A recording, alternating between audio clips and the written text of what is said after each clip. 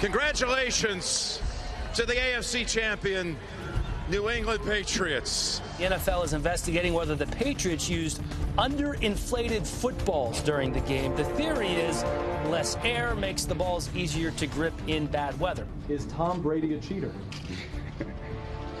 I don't believe so. I mean, I feel like I've always played within the rules. I would never do anything to break the rules. You know, I didn't alter the ball in any way. I said that in no time was the ball ever put in any type of a heated environment.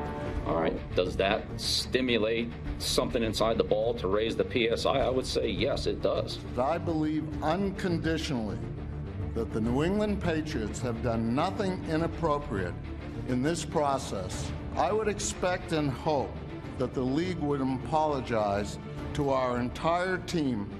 We play by the rules, we play hard, we prepare hard, and we try to make our fans in America proud. The New England Patriots are on to a celebration. Tom Brady is a three-time Super Bowl MVP.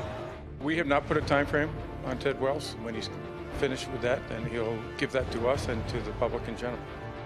NFL Network breaking news. You have waited for the Wells Report 108 days after the AFC Championship game. The Wells Report says it is, quote, more probable than not, end quote, that Tom Brady was, quote, generally aware, end quote, of the deflation of footballs. Good, bad, and different. There's a lot of people that don't like Tom Brady, and I'm okay with that. There's still a process that's going forth right now, and whenever it happens, it happens. The punishment from the NFL has been handed down. Tom Brady suspended for the first four games of the NFL season without pay